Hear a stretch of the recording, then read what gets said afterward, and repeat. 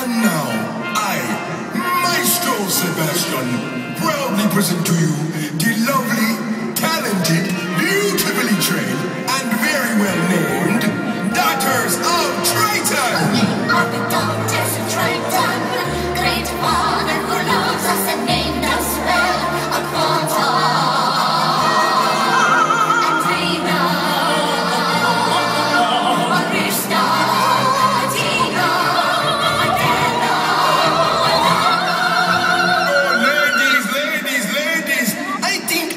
fans were expecting something a little more upbeat. Come on now, raise your fins in the air and let's play.